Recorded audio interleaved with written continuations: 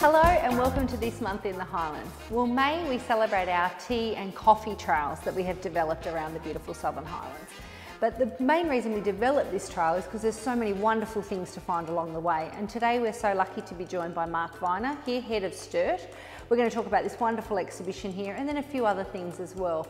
But Sturt here is absolutely gorgeous. Tell us about the Art and Craft Centre first overall and then we'll talk about the exhibition.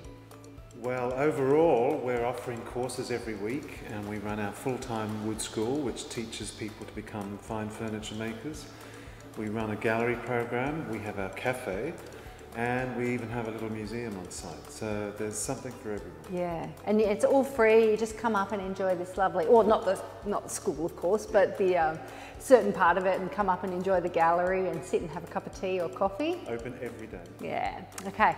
Now tell us about this lovely exhibition we have on during May. Well, you have been on, but during the month of May and through to the first weekend in June. This is our new exhibition. It's called Punu Living Wood and it's a new collaboration that we've developed with Maruku Arts, mm -hmm. which is an organisation that represents 900 artists, indigenous artists who live in and around Uluru in the Northern Territory.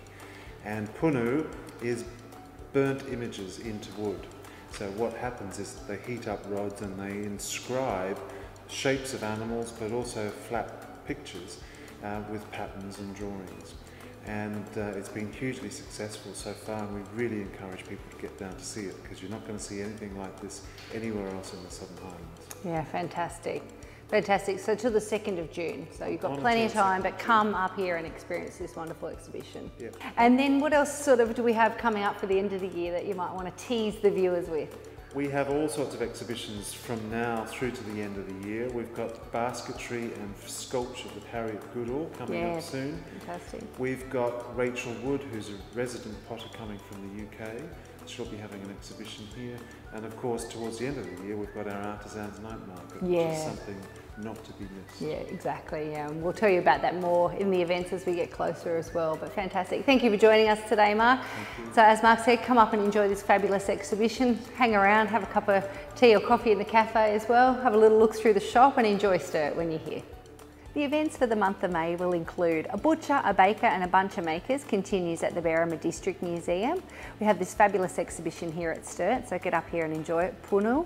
We have All Things Great and Small, the lovely exhibition at the Bowral Town Library. Now, sweet and savoury high teas will be available at the Gibraltar Hotel for the whole month, so why don't you book in and spoil yourself and enjoy that. We have Pigs Fly production of Company. The tickets will be available at the Welcome Centre or on the website for the event itself.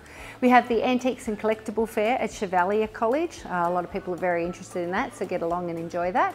We have Selby and Friends returning to the Southern Highlands. We have Outis in the Round Yard returning at Retford Park, so absolutely fantastic. Just pick the weekends for that as well.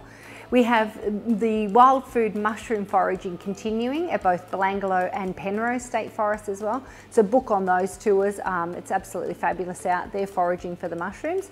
Don't forget plenty of options to spoil mum on Mother's Day here in the lovely Southern Highlands. Stars of the Highlands, uh, the fundraiser for the Cancer Council will be at the Mittagong RSL, so get along and enjoy that. We have the Allegri Singers here at two concerts, one in Bowral and one in Robertson. Again, tickets available at the Welcome Centre or on the Try Booking website there for them. Plenty of other things to check on the website as usual. We have the majors tours, we have regular markets, we still have a few gardens open as well. And as we move into pie time in June as well, we will have the fabulous pie time competition. Details are available already on the website. And I'll tell you all things pie time next month for this month in the Highlands.